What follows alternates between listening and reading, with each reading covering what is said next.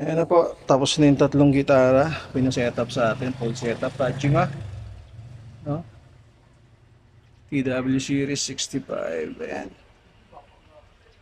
Alright. Ayan ang mga boss.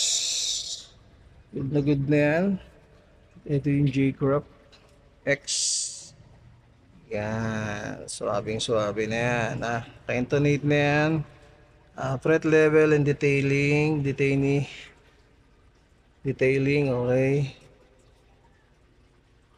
Mhm. At ito yung pinaka pinoproblema nyo na FF phone na puro bus kasi puro maninipis na yung fret. Maninipis na kasi at hindi na bilog. So, ayan. Bilog na siya ngayon lahat. Nahabol pa natin. Gawa natin ang paraan. Hindi na tayo nag-refret. Hindi na kayo gagastos.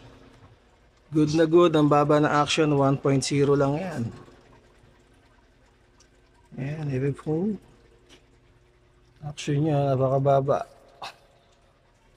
Okay. Pitik-pitik na lang kayo dyan mga bossing. Salamat sa nagpagawa. Salamat. Ayan.